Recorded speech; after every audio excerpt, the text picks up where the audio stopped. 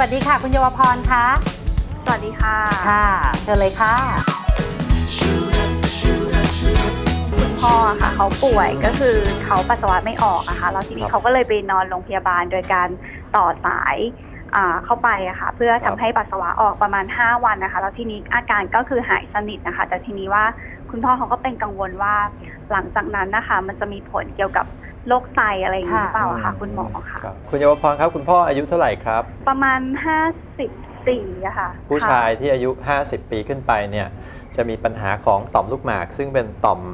ที่มีลักษณะเหมือนเป็น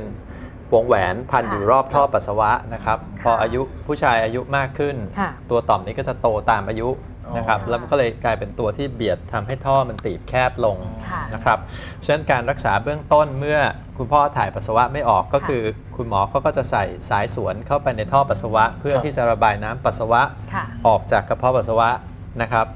เพื่อป้องกันไม่ให้เกิดปัญหาการติดเชื้อค่ะนะครับแล้วก็ไม่ทำให้ไตนะครับซึ่งอยู่สูงขึ้นไปเนี่ยเสียหาย ทีนี้พอใส่สายสวนไปแล้ว 5 วันค่ะนะครับ ร่วมกับการให้ยาที่ครับรักษาโรคต่อมลูกหมากโตนะครับยาฆ่าเชื้อ คุณพ่อก็สบายขึ้นเอาสายสวนออกได้ค่ะนะครับการถ่ายปัสสาวะกลับมาเป็นปกติค่ะนะครับก็ถือว่าน่าจะอยู่ในเกณฑ์ที่ปลอดภัย ส่วนใหญ่ยาที่เราใช้เนี่ยก็จะเป็นการใช้เพื่อขยาย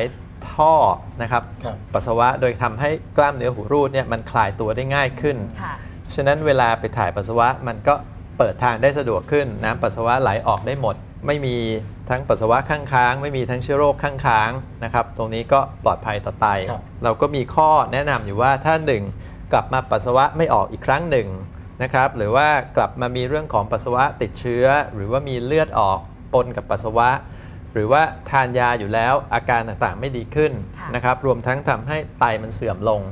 ครับของพวกนี้ ต้องนำไปสู่การทำผ่าตัดเพื่อลดขนาดของต่อมลูกหมากต่อไปครับ ค่ะจะสามารถสังเกตตัวเองได้ยังไงคะ นอกจากอาการปัสสาวะขาดอืม มีอาการอื่นๆด้วยไหมคะ ปัสสาวะขัดนะครับอ่าไหลออกช้าค่ะต้องเบ่งปัสสาวะนะครับ อืมหรือว่าปัสสาวะบ่อยขึ้นค่ะนะครับ แต่ละครั้งก็รู้สึกว่ามันถ่ายแล้วไม่สุดสักที ค่ะ เดี๋ยวเดี๋ยวก็ต้องกลับไปปัสสาวะใหม่ โอ้ หรือดูง่ายๆอีกอันหนึ่งครับก็คือกลางคืน ซึ่งค่ะ ท่านเคยนอนหลับสนิทประมาณ 5-6 ชั่วโมง ครับ ค่ะ ก็อาจจะนอนสัก 2 ชั่วโมงแล้วท่านก็ตื่นขึ้นมาปัสสาวะครั้งหนึ่งบ่อยเลย บ่อยขึ้นนะครับ โอเคค่ะครับ สวัสดีครับค่ะสวัสดีค่ะขอบณว่ารักคืออะไรรักคืออะไร